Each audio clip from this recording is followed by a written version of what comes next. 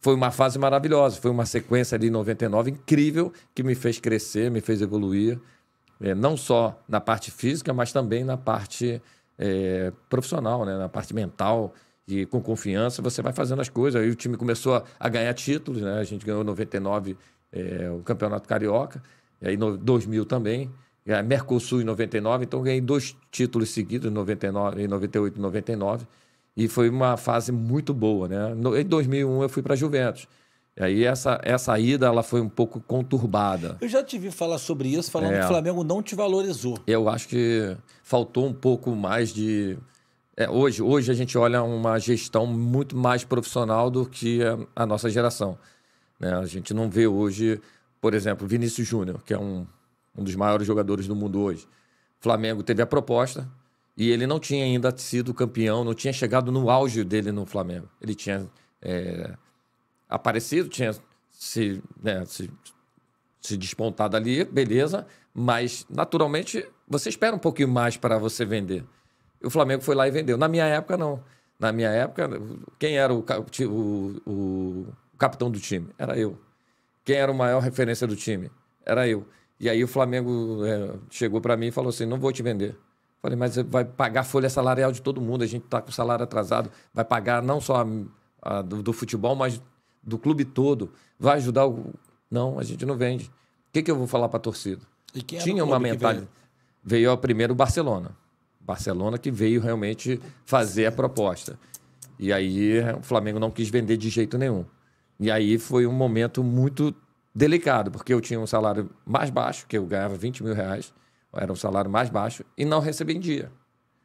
É, né, a gente sabe que o Flamengo Quatro não pagava meses, disso. três meses. E aí eu, entendendo todo esse processo, por falta também de conhecimento, não ter aquele empresário ali por trás para se gerir sua carreira, para te orientar, para poder brigar de igual para igual. Quem fazia, às vezes, eu, contato com. De, contra- é, o meu contrato era meu pai.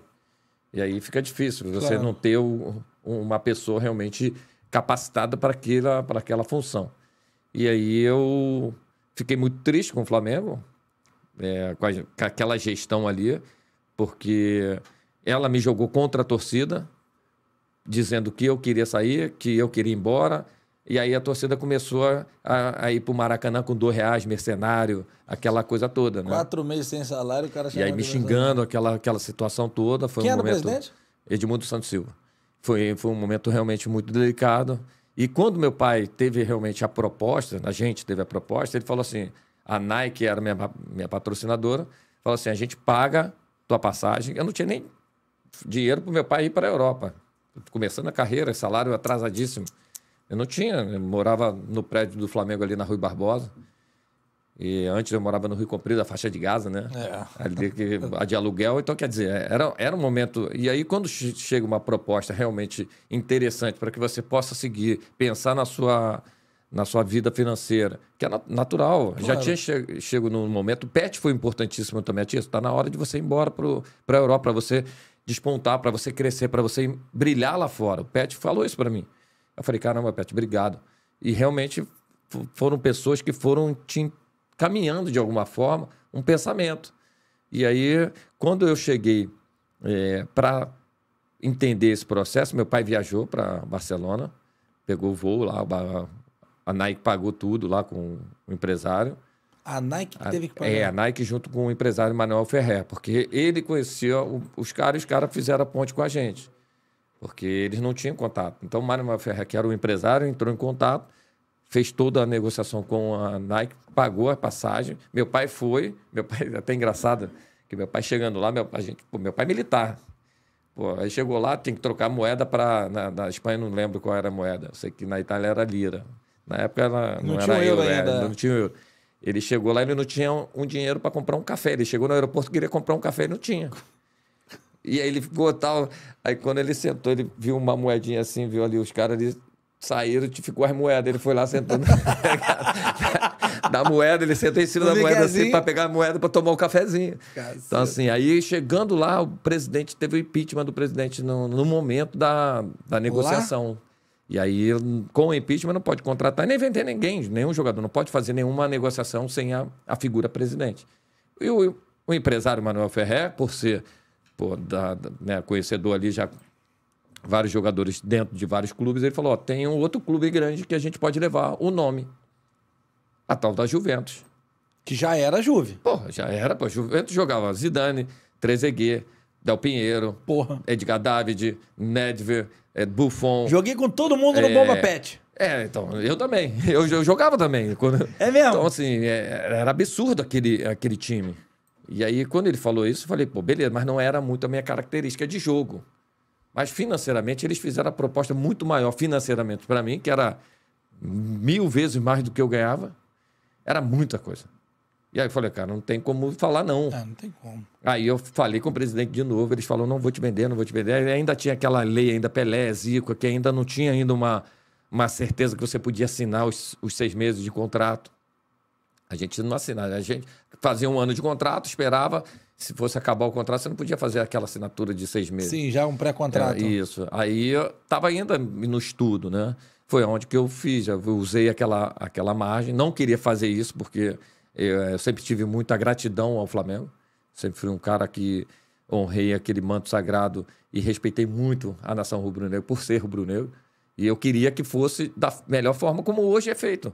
Hoje a gente já viu eh, vários jogadores do Flamengo sendo vendidos. Bom, Agora, recentemente, foi o João Gomes É, o jogo fez um, um baita jogador, perdeu um baita. Perdeu, mas ganhou, botou uma grana para dentro. Pra pela outro. pandemia lá, aquele momento da pandemia. Mas é isso, isso é uma gestão de, de, de- de financeira de clube. E daquela, daquele momento, o que, que eu vou falar para a torcida? Vendi porque preciso pagar a folha. Claro. E acabou, não ia, a torcida não ia na casa dele. Só que quem pagou o pato foi eu. O torcedor ia na minha casa, me xingava, me chamava de mercenário. E aí começou a me jogar contra a torcida. E aí aquela decepção ficou muito pesada na minha mente. Ficou muita coisa.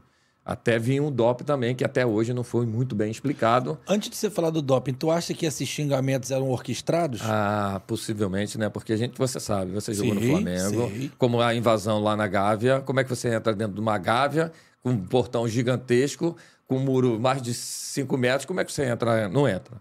Entrar na Gávea ali, você não entra. Eu me escondi atrás da mesa do Sérgio E para piorar, aquela entrada que foi o- A invasão. a invasão que foi liberada, eles entraram pelo portão do do ginásio, aquela grade ali nunca está aberta. Nunca. Nunca, nunca está aberta. Naquele Na dia, história- por, por coincidência, estava aberta.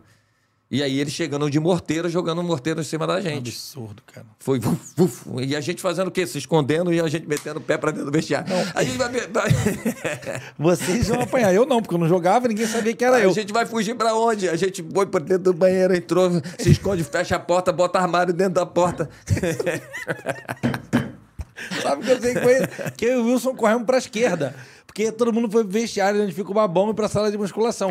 Pra lá era DM. Isso, Aí é. tinha uma salinha do Sérgio Reto, que era uma mesa igual a de vocês aí. É. Eu e o entramos embaixo e ficamos com o telefone, que antigamente era de rodar assim, na mão. É sério. E os caras com um pedaço de pau Morteiro. Morteiro pra caramba, é, porque o momento não era bom, mas não, Mas não justifica. não justifica. Nu- Nunca justificou e nunca vai justificar um torcedor fazer uma agressão. Isso aí é inadmissível. E aí foi o né, que você falou, orquestrado, né? E a gente ficou ali à, à mercê de uma situação desagradável. E um risco de E um vida, risco de- inclusive. exatamente, O morteiro exatamente. pode te cegar, pode cegar alguém. Exatamente. E com isso a gente viu ali um, um momento muito delicado. E aí eu já vai, o Leonardo tá- já tinha voltado do Flamengo, ficou muito decepcionado também, foi embora. O Júlio César naquele momento tentou apaziguar, tomou um Apanhou. tomou um bufetão. O Paulinho, que era o nosso segurança, lembra? Que era da Rocinho, cabelinho, ele Paulinho era Tenta- surfista. E o, e o próprio Montanha, né, cara? Eles ficaram ali na porta ali segurando. Tomaram as gente- porradas. Tomaram as E aí a gente com medo danado. Mas assim, a gente passou um perrengue danado, né? E foi aí exatamente o momento que eh, me deixou mais eh, triste, né? Com a situação toda, porque eu eh, via que era uma grande oportunidade de seguir minha carreira profissionalmente. Eu achei que era um Mas momento, Antes né? de você falar pra gente quando é como é que foi essa saída, ficou algum. Não sei se eu posso falar mágoa, tristeza ou algum sentimento assim, pô, o Flamengo podia ter sido mais legal comigo? Eu acho que, não falo o Flamengo, mas sim a diretoria. Quem participou daquela diretoria, eles sabem bem o que eu estou falando. Eles, eu- hoje eles podem, eles estão, não estão de repente mais no clube, uns estão, outros não. E- Mas quem não tá, ainda bem que não tá, né? E quem não tá hoje. Ainda bem que não tá hoje, Hoje. Mas eu não, eu não deixo de falar com ninguém, porque eu nunca desrespeitei ninguém, eu sempre fui muito profissional no que eu fiz dentro do clube. Sempre honrei aquele manto sagrado. Não é à toa que vesti mais de 260 vezes a camisa do Flamengo. Caramba. E não ganhei tantos títulos e você é uma marca dentro de uma história incrível dentro do clube, onde você fala, você é um dos nomes da lateral esquerda. Eu não vou falar quantidade porque eu deixo para o torcedor. Mas isso é muito mais gratificante. Você é um dos maiores. Isso, isso não tem preço, porque você não compra isso. Você não vai ali no mercado e fala, eu quero ser o maior jogador do Flamengo. Não, você conquista isso. E não conquistei através de título, que normalmente se vincula um pouco à tua ideia de imagem. É, Flamengo, você ganhou e você. Não, eu joguei. Foi jogando.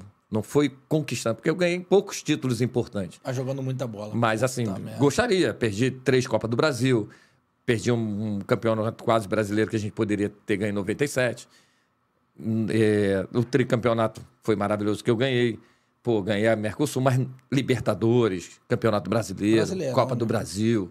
Essas coisas, não, é, é, quando falam, as pessoas ficam sempre marcando. Quem viu a geração, quem viu, eu não gosto nem de falar isso, é muito gratificante. Pô, você jogou muito. Pô, eu, eu não tinha essa noção. Hoje em dia, com essa rede social, cara, é muito gratificante o tanto carinho o torcedor rubro-negro te manda.